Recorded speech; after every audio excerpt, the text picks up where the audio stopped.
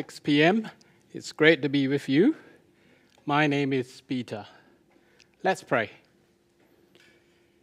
To our great God in heaven, we give you thanks for your word. Father, as we come before you, may your word speak to us, teach us, and mold us to be the people that you desire us to be. Amen. Now, one of the most precious and beautiful truths of the Bible is that our salvation is not dependent on our good works. It is solely dependent on God's grace and by faith in what Christ has done for us at the cross. But it's also a truth that is misunderstood and abused. Something that because we are saved by grace and not by works, then it doesn't matter what we do. We shouldn't worry about sin since it's all going to be forgiven at the end of the day. But let me put it to you that we do not understand or appreciate grace until we know about sin.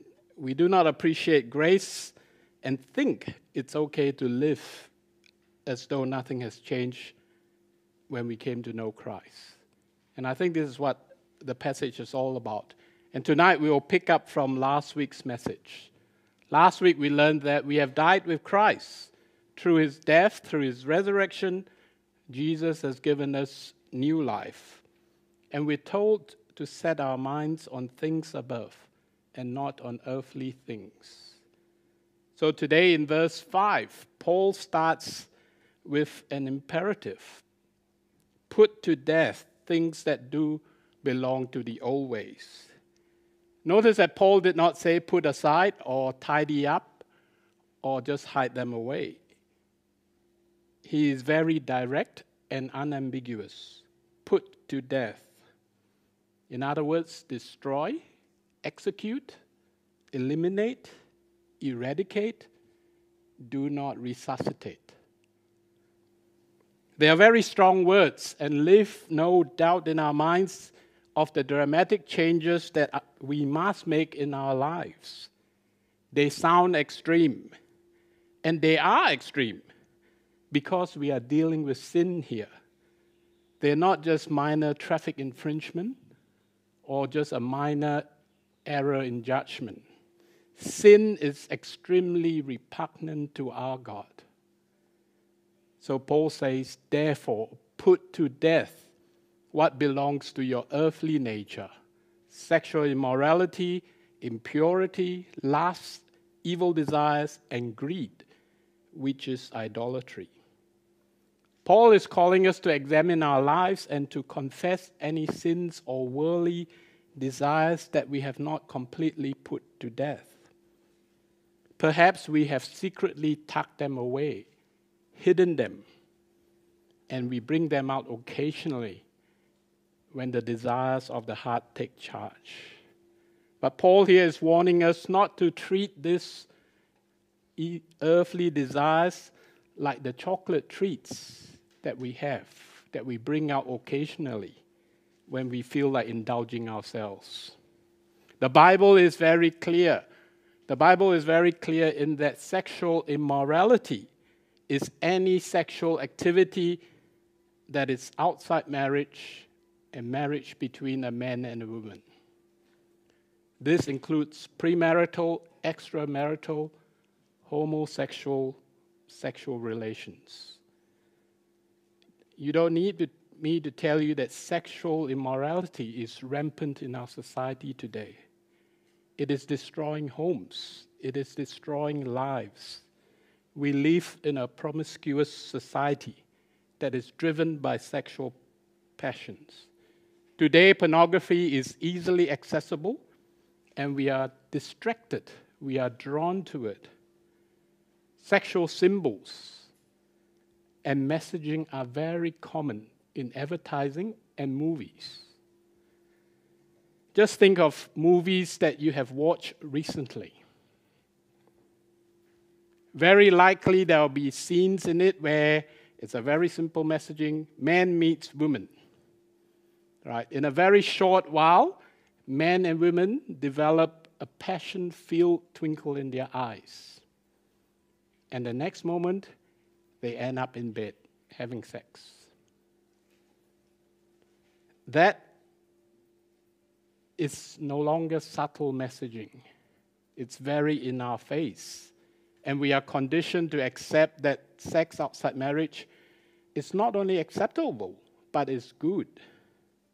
Christians are ridiculed and accused of living in the dark ages because of our teachings that sex is only in marriages. Instead, society today celebrate promiscuity. Just think of the Mardi Gras a few weeks ago. So we need to wake up to the fact that we are being influenced by society's declining moral standards and we compromise biblical teachings. Society has desensitized us, and we may have gone too far to accommodate modern sensibilities. We don't like talking about sin.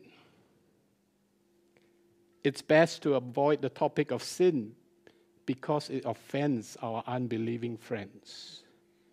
We prefer to talk about a living God a gracious God is a wonderful messaging. So, in our language, people no longer commit sexual immorality. People do not commit adultery. In our language, we prefer to use the term they are having an affair. In the spirit of inclusiveness, we go along with diversity, but with very little reference to God's definition of inclusiveness and diversity. We do not and cannot fully understand God's grace until we really get how offensive sin is to God. Sin has destroyed our relationship with our Creator. I'm not saying that the Bible is negative on sex. In fact, if you read the Bible, it has the highest view of sex. The Bible teaches that it doesn't matter whether you're young or unmarried or have been married for a very long time.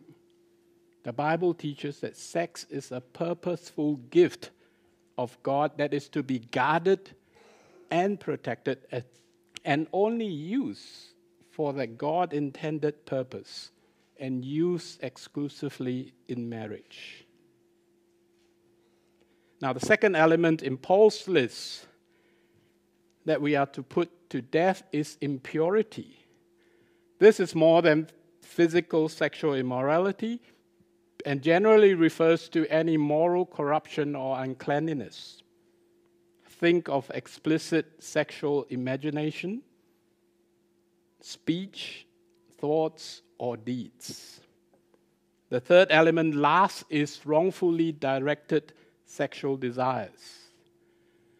In the New Testament, there's only two other occurrences of the word last. In 1 Corinthians 4, Paul talks about the passionate lust of the Gentiles who do not know God. And in Romans, Paul talks about the shameful lust of homosexuality. In all instances of the word lust, they refer to sexual sins. And also remember, our Lord Jesus said in Matthew 5 Jesus said that everyone who looks at a woman lustfully has already committed adultery in his heart. So beware. Get rid of them. Put to death. Do not engage with pornography. You may think it's harmless. You may think that you can control yourself. But pornography corrupts our minds about sex and intimate relationships.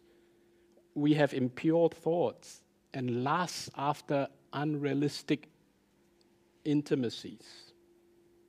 The fourth element in Paul's list to put to death is evil desires. If you remember in chapter 1, Paul talks about evil actions which refers to our propensity to sin. We just keep sinning. So we must honestly ask ourselves if we struggle with any of these issues. Right? If you do, cry out and seek help. Or do we simply just hide them away, tuck them away, file them away, and pretend that everything's okay? The Apostle James wrote in chapter 1 Each person is tempted when he is drawn away and enticed by his evil desire. Then, after desire has conceived, it gives birth to sin. And when sin is fully grown, it gives birth to death. So, beware. And the fifth element, greed, is basically inappropriate desire for more. We are not satisfied with what we have, and we yearn and covet for more. Greed can be the desire for more money, more things, more power. It can also be the desire to be sexually, to have more sexually than what is ours rightfully. Uh, this morning I mentioned greed in terms of money. For many of you here, you're starting out in your careers, you're looking forward to pay rises and more money. Can I tell you that all Australians earn the same amount of money? Not enough. Right. I've never been to a, or done a performance review where the guy sitting across me said, "I'm happy. I don't need a pay rise." So greed is idolatry. Right? Greed is idolatry. Greed desires more than what is rightfully ours. Greed also means that we are not content with God and we are not happy with God with what God has given us. Instead of setting our minds on things above, we set our minds on earthly desires. This is idolatry, putting something before God and turning away from God. We want to be autonomous. We want to pursue our own self indulgent pleasures and ambitions. If you think about it, it's ironic that Paul tells us to put to death. Because think about it. The verse before, Paul already says we have died with Christ. So if we have died with Christ, how can we further put to death. Right. While we already died with Christ and have died to our old lives, we still live in a fallen world. Right? Our new life is hidden with Christ. We still live in this fallen world where the old is not yet completely destroyed. The old world, with all its earthly nature, continues to exist and continues to assert its influence and distractions over us. John Woodhouse, the former principal of Moore Theological College, puts it quite succinctly. He says, If I don't deal with my covetousness, which is greed, I'm likely to be in trouble with my desires. If I don't deal with my desires, I will be in trouble with my thoughts. And if I don't deal with my thoughts, then I'm asking for trouble in my actions. So, friends, these earthly desires must be dealt with. And it requires strong, decisive, radical actions. But if we are honest, we can't make these radical changes ourselves. We lack the discipline, the willpower, and the motivation. And more importantly, I don't believe that we have the desire to change. The motivation, the motivation to change is just not there. But remember, we have the transforming power of Christ in us. God can do it, Christ can do it. Paul says in Romans 12, do not be conformed to this age, but be transformed by the renewing of your mind, so that you may discern what is the good, pleasing, and perfect will of God. The power of Christ can transform us. The power of Christ renews our minds. So when we set our minds on things above, we are setting our life compasses to things above, to biblical teaching, rather than societal cultures and sensibilities. And notice now in verse 6 if the carrot approach doesn't work for you, Paul reminds you there is a stick. Verse 6 Because of these, God's wrath is coming upon the disobedient. And you once walked in these things when you were living in them. God's wrath is his righteous anger against sin. God is holy and cannot tolerate sin. God's wrath is coming and culminates in his judgment against sin. The heart of the gospel of Christ is the forgiveness of sins. Because Christ has reconciled us and has made peace for us through his blood on the cross, we do not have to fear this wrath. God's wrath is not coming on us. In Christ, we have abandoned the old way of life that was bringing God's wrath on us. So, question we have to ask ourselves do we need any more excuses? Do we have any more excuses not to put these elements to death?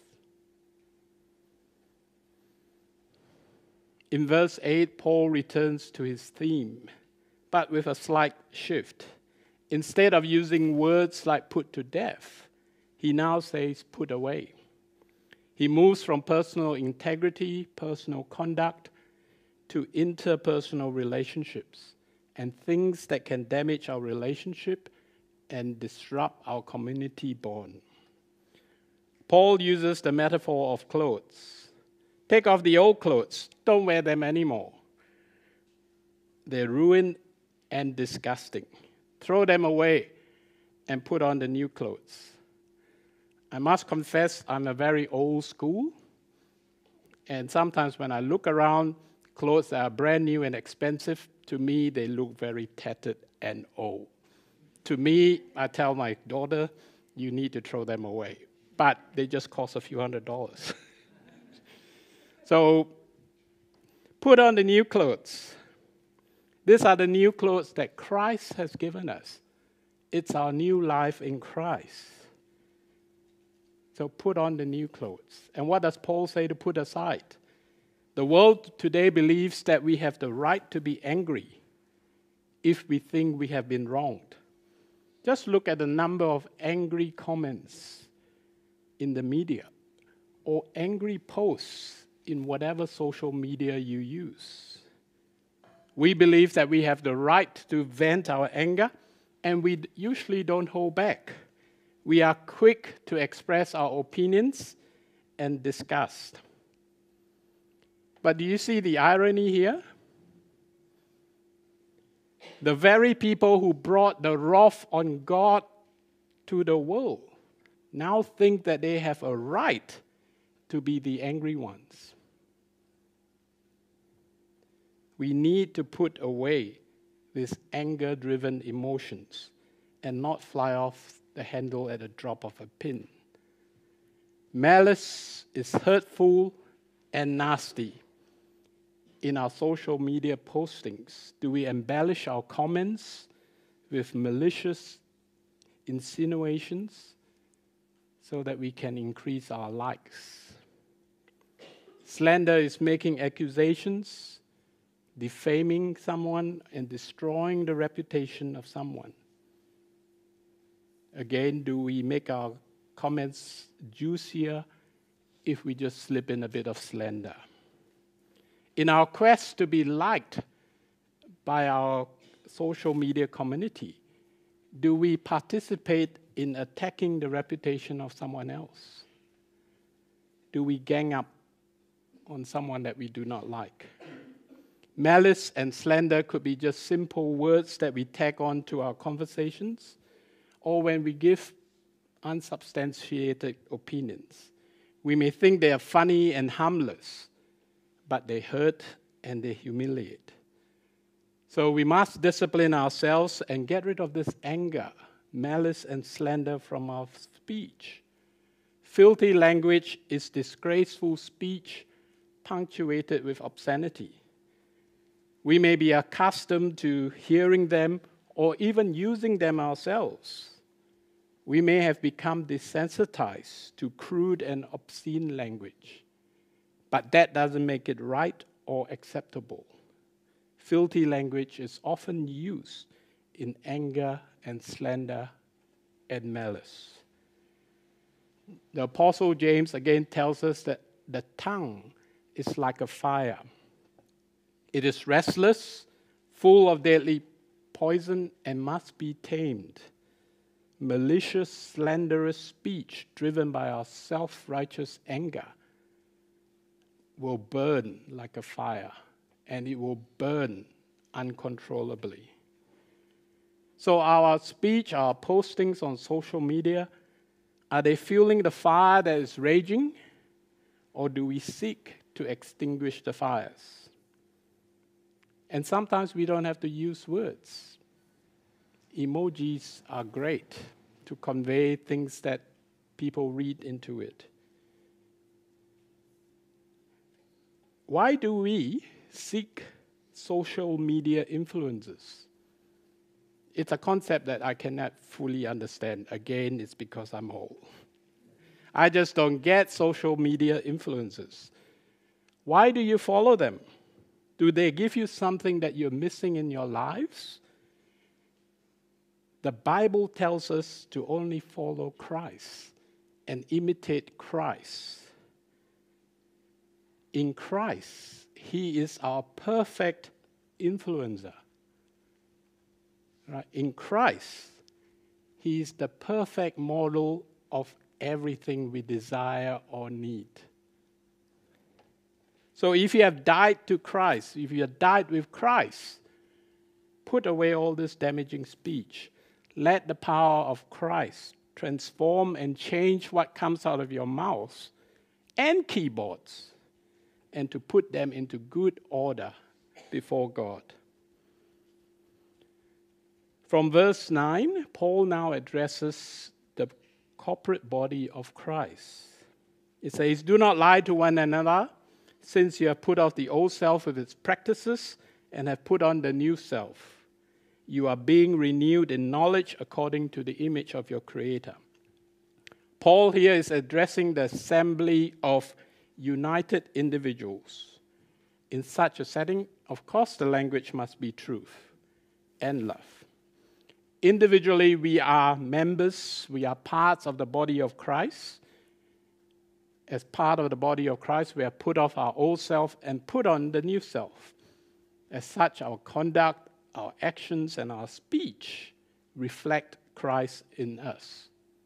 Paul puts it in another way in Ephesians. In Ephesians 4, Paul says, Take off your old self, the old self that is corrupted by deceitful desires, to be renewed in the spirit of your minds, and to put on the new self the one created according to God's likeness in righteousness and purity of the truth. Put on the new self. There is new renewal taking place when we set our minds on things above. And this will continue and it will increase as we being restored to reflect Christ's glory in us. It is only by God's grace that we have this new life this beautiful truth binds us all together as a body of Christ united individuals. The things that we must put to death and put away are precisely the sins that destroy not only our personal integrity, but the community spirit and harmony of the body. Do not lie. So don't let anyone tell you that greed and evil desires, lust, or sexual immorality. Doesn't matter. It's a lie. And don't let anyone deny or water down the impending wrath of God. And call out the lie. if anyone tells you it's okay to be angry and malice and slander and obscene language are just part and parcel of modern life. Call out the lie.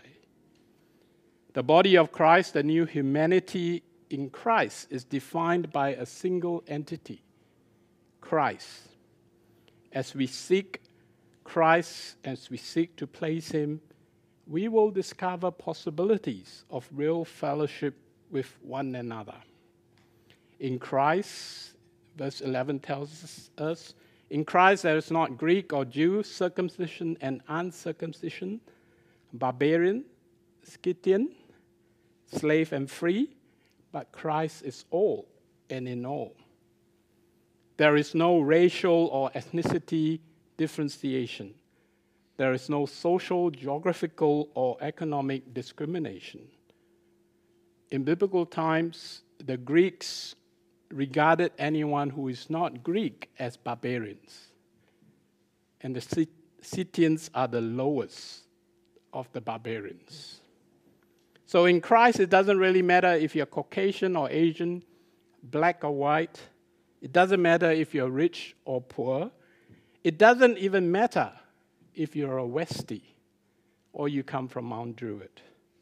Sorry about the stereotype. Matt's not here. it's only Christ who matters. Christ is in all, and Christ is all. He is the center of everything. He's in the center of creation, the center of redemption. Christ unites all because he dwells in us all. This, my friends, is true inclusiveness and diversity. It's diversity and inclusiveness in Christ, by Christ, through Christ, and for Christ. Remember Paul's prayer at the start of the letter? If you turn to chapter 1, verse 9, Paul prayed that you may be filled with the knowledge of his will in all wisdom and spiritual understanding, so that you may walk worthy of the Lord, fully pleasing to him, bearing fruit in every good work and growing in the knowledge of God. Let this be our prayer for ourselves and for each other. Because this is the new life we have in Christ. All that it matters is that we've repented our sins and we have received Jesus as Christ, as Lord and Savior. We have died and we have been raised with Him. It's only by God's grace and through Christ that our sins have been forgiven. If you have not experienced this new life, please don't put it off any longer. I'm sure there'll be friends of yours that love to talk to you. Now, the unbelieving world would think that Christians are out of step with modern sensibilities. We are like dinosaurs. The world thinks that it is absurd that we still maintain God's commandments to exercise this gift of sex exclusively in marriage and to uphold the powerful goodness of sex in its God's design context. Christian views and Christian teachings are regarded as arcade and irrelevant. Instead, the world continues in their self indulgent and idolatrous way, and sadly, disastrous way in ignoring God. But as Christians, we've been told today to put on the new life, to put to death, and to put aside. So imagine if our lives are consistent with biblical teachings, where we set our minds on things above, and our conduct and our actions reflect this new life in Christ. As the community in Christ, our speech is not for putting others down. It's not for express, expressing frustrations or annoyance in anger, not for lashing out in rage, not for embellishing our speech with malice or slander, or laced with filthy language. Instead, our life and our speech are synonymous with building up, with encouragement, comfort, kindness, compassion, and critically, from turning attention away from ourselves to Christ and His glory instead. What would the, world think of us then? Would they still think that we are mad and irrelevant? I would say probably. But the unbelieving world would be amazed and will sit up and take notice and acknowledge that Christians do really have the real thing, the real hope in Jesus. So Christ is all and in all. Let us pray. Father God, we give you thanks for this new life that we have in Christ. We thank you that it's through you and by you and for you that we have this new life because, Lord, you are in all and you are all. Amen.